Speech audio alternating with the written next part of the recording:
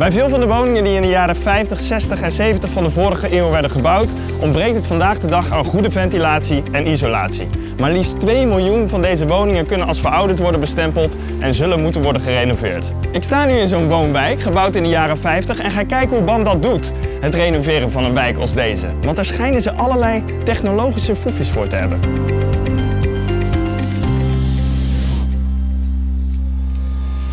Zo, Arjan, jij bent BIM-coördinator bij BAM.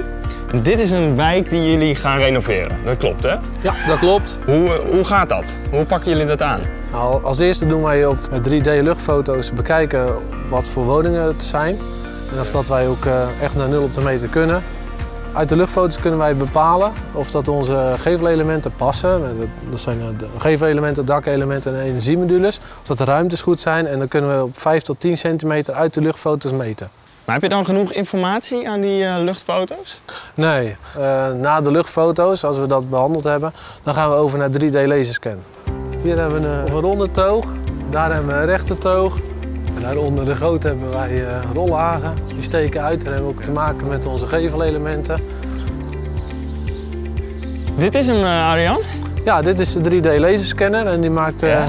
nu door middel van infraroodstralen maakt allemaal puntjes. Ja? En dat noemen ze puntenwolk of point cloud. En dan hij ook 360 graden foto's, dat doet hij straks hierna. En die twee samen, dan maakt hij een, uh, ja, daar kunnen we mee werken op de computer. Hier is de achtergevel, dit is de point cloud. En door middel van de foto's die gemaakt zijn en de point cloud kunnen we ook ja, fotorealistische beelden genereren.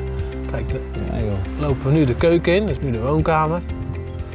Ja, ik vind het allemaal heel erg mooi, ja, Arjan. Maar wat is nou concreet de meerwaarde van, van deze manier van uh, bouwen?